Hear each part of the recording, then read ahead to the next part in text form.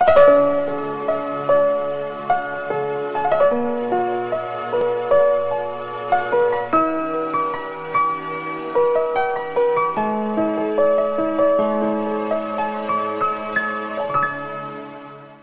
cảm ơn quý vị và chúng ta trở lại câu chuyện với uh, tiến sĩ Nguyễn Đình Thắng, chủ tịch của Hội Cứu Nguy Ngừ vượt biển. Và um, tiến sĩ có thể cho biết thêm là uh, như là tiến sĩ nói là cần rất là nhiều người quan tâm. Thì cái quan điểm và cái chính kiến người ta bảo là làm chung một việc á, thì nó sẽ sinh ra rất là nhiều quan điểm khác nhau. Vậy vì không ai chịu người khác hơn mình và không ai chịu mình à, dưới một người. Ai cũng muốn làm một cái công việc đó thì ai cũng muốn mình sẽ là cái người đầu tiên thì đối với quan điểm của ông như thế nào nếu mà ông gặp phải những uh, sự uh, gọi là à, nhạy cảm công việc? Tức là có nhiều người họ không thích cái việc đó họ không thích làm việc đó và họ không đồng ý với mình cái việc đó. Thế thì cái sự mà quan điểm mà nó không có được uh, giống nhau dạ. ông làm thế nào để mà ông dung hòa được? À vâng. Trước hết là không thể nào thuyết phục những người mà không cùng cái mục tiêu cùng cái mục đích. Chẳng hạn như chỉ những ai mà muốn thực sự thay đổi, tận cội rễ cái xã hội Việt Nam để đưa đến được dân chủ. Dân chủ nghĩa là gì? Chính người dân tự tập hợp lại được với nhau, tự tổ chức lại được thành cái lực và đủ cái thế để mà ảnh hưởng đến chính sách quốc gia, ảnh hưởng được đến thể chế và tự mình giải quyết rất nhiều những vấn đề trong xã hội cũng như là bên Mỹ này thôi. Và chính người dân phải tập hợp lại để rồi họ không phải là chờ chúng ta hoặc chờ quốc tế can thiệp chỉ lâu lâu cùng lắm thì mới phải nhờ đến quốc tế. Chính người dân là có cái sự chủ động và đóng vai trò chủ lực để giải quyết những vấn đề của chính mình. Ừ. thì đó gọi là dân chủ. Chỉ khi nào có cái đó thì lúc đó chúng ta mới thực sự là thay đổi được đất nước bền vững. Còn bây giờ chỉ là những cái giải pháp tạm thời. Giải cứu người bảo vệ người tranh đấu tài trợ những tù nhân lương tâm chỉ là tạm thời thôi. Nhưng mà cũng vẫn phải làm. Nhưng mà đồng thời là phải giải quyết tận gốc rễ chỉ những ai mà cùng đồng ý như vậy bắt đầu đến với nhau thì tôi mới đưa ra một công thức rất đơn giản và mọi người đều khởi xướng. Không phải đi theo ai hết làm song song không cần sự chỉ đạo mà nó vẫn góp phần được vào cho đại cuộc. Thì công thức nó rất đơn giản chúng tôi gọi là cái công thức nhóm kết nghĩa. Chỉ cần 3, 4, 5 người ở ngoài này hoặc một hội đoàn có sẵn một cái hội đồng hương có sẵn chẳng hạn kết lại với nhau và có một sự cam kết chung với nhau rằng chúng ta cái hội của nhóm của chúng ta sẽ kết nghĩa với một cộng đồng đặc thù ở tại Việt Nam. Cộng đồng nó có thể là cộng đồng uh, Phật giáo Hòa Hảo hoặc Cao Đài hoặc là Tin lành hoặc là Thiên Chúa Công giáo hoặc là Phật giáo độc lập hoặc là đó người Tây Nguyên hoặc người Hồng Mông người Khmer cái vân vân. Một cái cộng đồng đặc thù ở một địa phương và đi sát cánh với họ liền lạc hết năm này đến tháng khác và giúp cho họ để làm gì? Để họ tăng cái lực của họ để mà tự vệ được và đồng thời bảo vệ cho họ trong thờ, trong cái lúc mà họ chưa đủ lực để tự vệ. Và dùng cái thế công dân của chúng ta là công dân Mỹ để mà cài cái kẹp chính quyền nó đụng tới nhóm mà chúng ta kết nghĩa thì họ sẽ phải đối phó với, có thể sự trừng phạt từ phía chính quyền Hoa Kỳ. Bởi vì cuối năm ngoái chúng tôi đã vận động cùng với nhiều cái tổ chức lớn của Hoa Kỳ đã vận động thành công cái luật trừng phạt đối với những giới chức chính quyền, cá nhân của những giới chức chính quyền mà vi phạm nhân quyền với nghiêm trọng và trừng phạt nghĩa là không được nhập cảnh Hoa Kỳ dù là đi công vụ nếu mà nó liên quan tới vấn đề mà tự do tôn giáo nữa, thì ngay cả vợ con cũng không được vào Hoa Kỳ mà đang ở Hoa Kỳ bị trục xuất. Và quan trọng hơn nữa là đóng băng tài sản của chim cửa nổi mà đang ở tại Hoa Kỳ.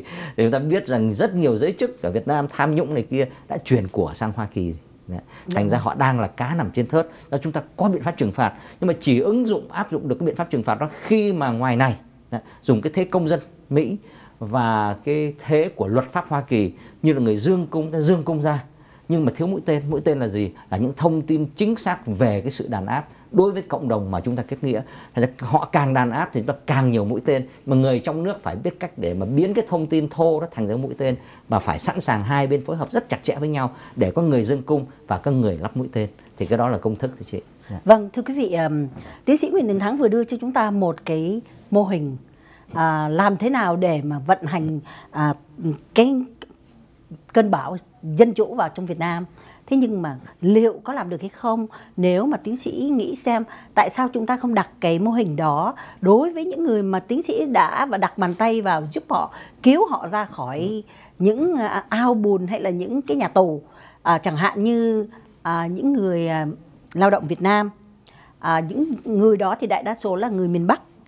Thì cái tiếng nói của những người đó đi với chúng ta thì cái tiếng nói đó nó sẽ đi sâu vào với những người tại Việt Nam tiến sĩ liệu có thấy quan tâm thế nếu như có một số người đặt cái vấn đề là à, chúng ta nói cái chuyện kết nghĩa tức là có đôi khi chúng ta sẽ bị người ta nói là à, mình làm một cái nghị quyết 36 tại hải ngoại không? À, cái đó có thể là gọi thành nghị quyết 36 đổi ngược lại phải chăng? Nhưng mà thế này cảm ơn chị Phiến Đan à, đã hỏi câu hỏi rất là chí lý bởi vì thực sự ra là chúng tôi có một cơ hội rất lớn vì ở bên Thái Lan và một số quốc gia khác như là Malaysia này kia thì chúng tôi cũng đã giúp cho bảo vệ cho rất nhiều người phải chạy sang do họ tranh đấu. Mà thường là họ đến từ những cộng đồng cộng đồng tôn giáo bị bạo bị uh, bách hại hoặc cộng đồng sắc tộc bị bách hại. Khi mà họ chạy sang bên Thái Lan và luật sư của chúng tôi uh, bảo vệ cái quyền tị nạn của họ đó thì từ từ họ tin mình hơn mình vâng. hiểu họ hơn và chính họ lại móc nối chúng tôi quay trở lại để mà bảo vệ can thiệp cho cộng đồng của họ vẫn tiếp tục bị bắt hại trong nước chính nhờ vậy mà chúng tôi có giải ra được cái bàn tay của mình đến được rất nhiều cộng đồng mà ở xa xôi hẻo lánh lắm kìa à, xong rồi kế đến khi một cộng đồng mà thành công theo cái công thức mà kết nghĩa mà thành công có nghĩa là rõ ràng là chính quyền địa phương họ giạt ra Đấy.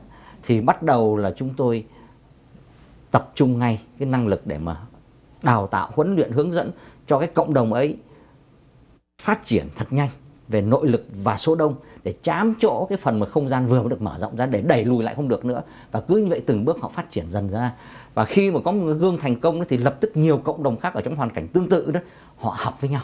Thật ra cứ vậy cái mô hình nó lan ra. Hay ở trong nước hiện nay có nhiều cộng đồng muốn được kết nghĩa hơn là các nhóm kết nghĩa hiện có ở ngoài này. Là chúng tôi phải đi các nơi. Và kỳ này trở về lần thứ hai trong vòng thời gian rất ngắn đến vùng quận cam này là để vận động và giải thích cái công thức nhóm kết nghĩa để đáp ứng được cái nhu cầu hiện nay ở trong nước. Và những cộng đồng trong nước là những cộng đồng họ đã chứng tỏ rằng họ đã tranh đấu. Không có chúng ta họ đã tranh đấu từ trước trong sự âm thầm và đã bị bách hại, nhiều người đi tù đầy có người chết chóc. Nhưng họ quyết liệt họ tranh đấu cho cái quyền của họ. Chúng ta không khuyến khích họ làm cái gì nguy hiểm, ta chỉ giúp cho họ để tranh đấu hiệu quả hơn và an toàn hơn bằng cách là chuyển cái lực của mình ở ngoài này có sẵn. Nhân tài vật lực, mình rất nhiều người giỏi ngoài này tiền bạc mình cũng có để mình chuyển về giúp cho cộng đồng ấy phát triển về lực và dùng cái thế công dân ngoài này để đỡ đòn họ cho đồng bào trong nước trong thời gian đầu khi mà cái lực họ còn yếu thì đó là cái công thức nhóm kết nghĩa. Vâng, à, thưa quý vị, quý vị nghĩ sao về à, mô hình này? À, tuy nhiên là chúng ta nhìn thấy rằng là đây là một cái giai đoạn mà chương trình văn hóa và con người thì chúng tôi chỉ muốn đưa lên một nhân vật đang và có những cái thành quả và những cái công việc mà chúng ta rất quan tâm. À, chương trình chúng tôi không phải là chương trình về chính trị nhưng mà công việc văn hóa, công việc xã hội và những công việc lương tâm thì nó cũng gần như là chính trị. Cho nên phía Nam chỉ muốn giới thiệu và muốn hỏi đặt câu hỏi với quý vị là liệu công việc của tiến sĩ Nguyễn Đình Thắng sẽ đáp ứng được cái câu trả lời đó hay không nếu như chúng ta thờ ơ mà hiện tại thì phía nam biết rằng tất cả quý vị ở Việt Nam hay là ở ở hải ngoại đều rất quan tâm tới những cái đau khổ của những người dân Formosa rất là quan tâm tới những cái vấn đề mà của các giáo sứ Việt Nam đang bị chà đạp và đang bị ừ. bách hại và quan tâm rất nhiều đến những nhà đấu tranh dân chủ hay là những người cất tiếng nói dân chủ chứ không phải là làm chính trị mà đang bị vùi dập thì tiến sĩ Nguyễn Đình Thắng có thể cho biết là hiện nay thì cái vấn đề mà à, thấy trong cái chương trình của tiến sĩ làm đó dạ. thì quan tâm tới vấn đề mà Formosa và vừa rồi đó thì à, đức cha Nguyễn Thái Hộp đã có lên tiếng tại Đài Loan về dạ. vấn đề này thì cái công việc của tiến sĩ và tổ chức của ông à, làm được gì đóng góp dạ. cho vấn đề này? Dạ vâng. À, trước hết tôi muốn khẳng định rằng cái việc làm của chúng tôi không phải là chính trị. Chính trị có nghĩa là mình muốn thay đổi cái chế độ và mình lên nắm nắm quyền. Còn cái này là chỉ bảo đảm rằng mọi người dân ở trong nước có được cái quyền y hệt Gây như mình. Thức, vâng. Tức là không phải chỉ vậy có quyền tập hợp lại như chúng ta để mở một cái chương trình tivi như thế này chẳng hạn ở trong nước họ phải được cái quyền đó. Không lẽ chúng ta nghĩ chúng ta được quyền mà người dân trong nước không được quyền này Thế chúng ta chỉ kêu nâng cho người dân để làm sao được như chúng ta đang ở bên này thôi. Và riêng về Formosa thì chúng tôi cũng áp dụng công thức là nhóm kết nghĩa với lại một cái giáo sứ rất cụ thể nằm ngay sát cạnh Formosa không thể nào sát hơn được nữa đó là giáo sư Đông Yên. Và không những bị ảnh hưởng nặng nề nhất bởi Formosa mà còn bị cái, cái đe dọa là bị cướp trắng cả cái sứ đạo đó. Bởi vì chính quyền địa phương muốn giải tỏa toàn bộ cái sứ đạo Đông Yên và nhờ công thức nhóm kinh nghiệm mà hiện nay cái sứ giáo sư Đông Yên vẫn chưa bị xóa sổ. Vâng, thưa tiến sĩ, để trở lại với cái công việc của chúng ta thì chúng ta sẽ trở lại sau vài phút giới thiệu dạ. các cơ sở thương mại bảo trợ cho đài và trở lại một cái những cái vấn đề mà ưu tư hơn sau phần giới thiệu các cơ sở thương mại bảo trợ. Cảm ơn quý vị.